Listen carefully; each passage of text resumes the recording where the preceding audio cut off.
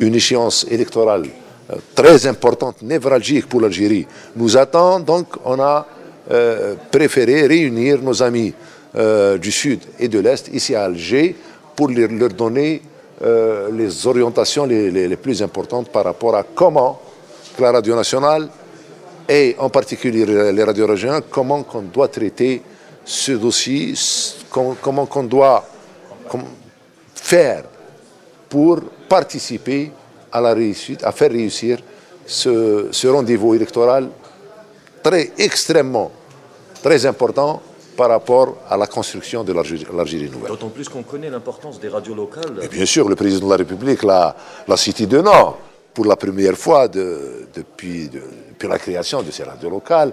Il l'a mise en plein cœur de son programme qui concerne les ondes, les ondes d'ombre. Donc, euh, c'est un honneur pour, pour nous, c'est un honneur à, nos amis dans les radios locales, mais c'est une énorme responsabilité aussi.